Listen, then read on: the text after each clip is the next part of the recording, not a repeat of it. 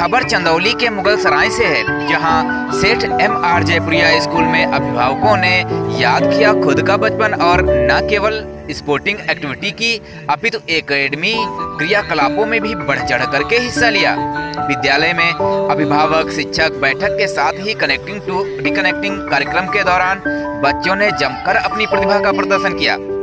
आनंदमयी क्रियाकलापों के माध्यम से खेलकूद में ही प्री प्राइमरी शिक्षण पद्धति के अंतर, राइजरिज्म आदि।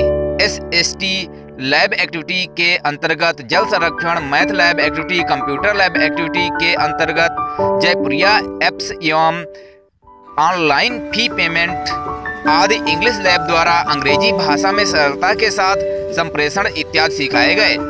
वहीं दूसरी तरफ़ बच्चों ने अभिभावकों को कई स्पोर्टिंग एक्टिविटी की भी बारीकियों को भी सिखाया।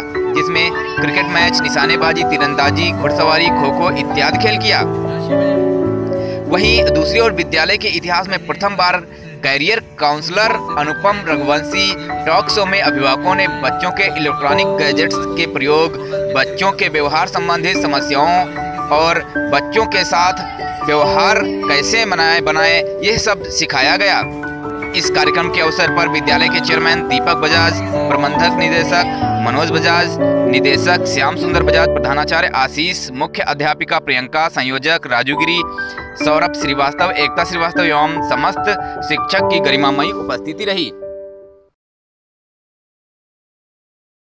मामला चंदौली के मुगलसराय से है, जहाँ पर थाना सकलडीहा के अंतर्गत दो पशु तस्कर को गिरफ़्तार किया गया और एक पिकअप से पाँच गोवंश बरामद किए गए हैं। जी हाँ एक बार फिर बता दें आपको, पुलिस अधीक्षक जनपद चंदौली श्री संतोष कुमार सिंह के निर्देशा अनुसार जनपद में चलाए जा रहे पशु तस्करों के विरुद्ध अभियान के क्रम में क्षेत्रा अधिकारी सकलडीहा त्रिपुरारी पांडे ने प्रभारी निरीक्षक सकलडीहा द्वारा मैं हमराह फोर्स के साथ भोजापुर रेलवे क्रॉसिंग के पास चेकिंग कर रहे थे।